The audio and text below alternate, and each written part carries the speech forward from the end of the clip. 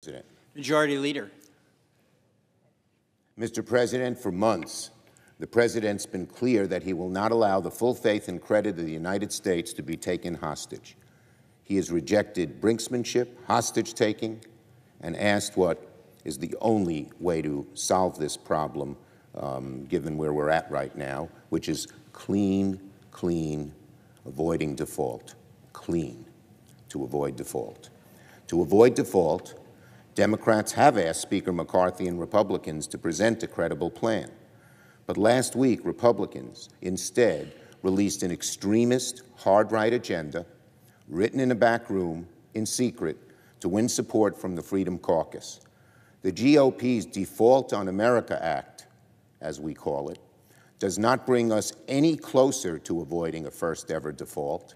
In fact, it only brings us dangerously closer to defaulting.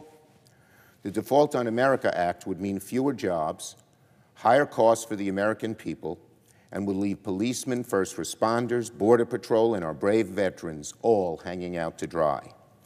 For those who worry about gun violence and crime and keeping our communities safe, the Default on America Act will wipe out nearly 30,000 law enforcement while also gutting critical resources to secure the border. Donald Trump told House Republicans to defund law enforcement and so the Default on America Act, on cue, does just that. That's what the Default on America Act does.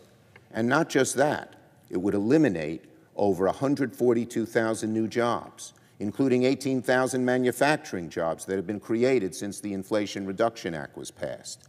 If you're a parent struggling to pay for child care, the Default on America Act will eliminate more than 105,000 child care slots across the country, making it harder for parents to find work, finish their education, or even provide for their families. If you know someone who struggled with addiction, this bill would also worsen the opioid epidemic by cutting critical HHS programs by over $10 billion in the next decade. That's the definition of cruelty. If you want to go to college, the Republican package will slash Pell Grants for all students by $1,000 and even eliminate Pell Grants entirely for tens of thousands of Americans.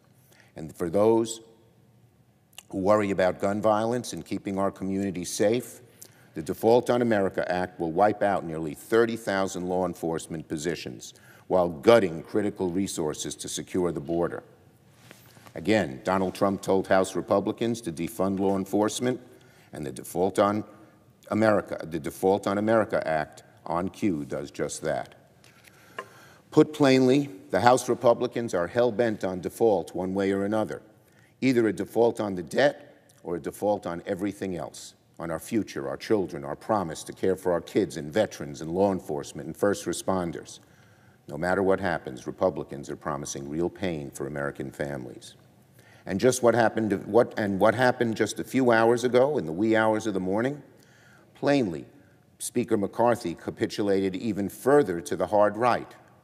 Again, if anything, this revised bill is even more extreme, more radical, a more radical version of the Default on America Act.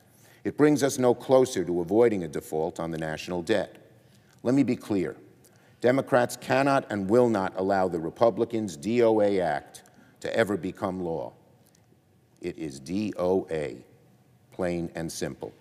And if Republicans refuse to level with the public about the terrible things their default act on America will do to them, Democrats will do the work ourselves. We'll let America know how bad this is, because Republicans are intent on hiding it. They know how unpopular it would be.